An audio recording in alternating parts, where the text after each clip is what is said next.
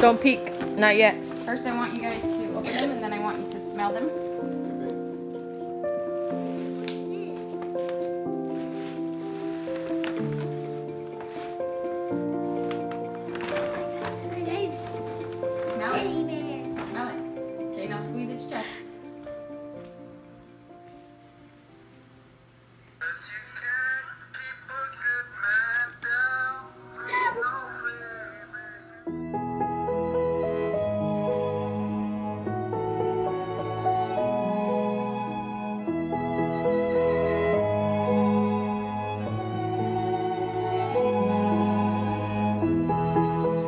Shirt is made out of Daddy's shirt that he wore in this picture.